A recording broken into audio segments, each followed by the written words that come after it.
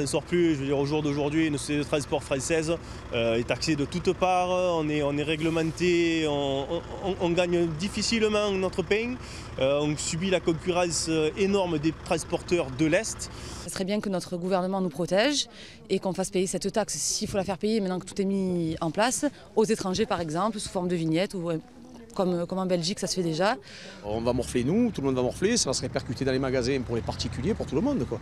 Voilà, donc euh, après derrière ça, on est obligé de se faire entendre avec les manifestations parce qu'ils ne comprennent rien.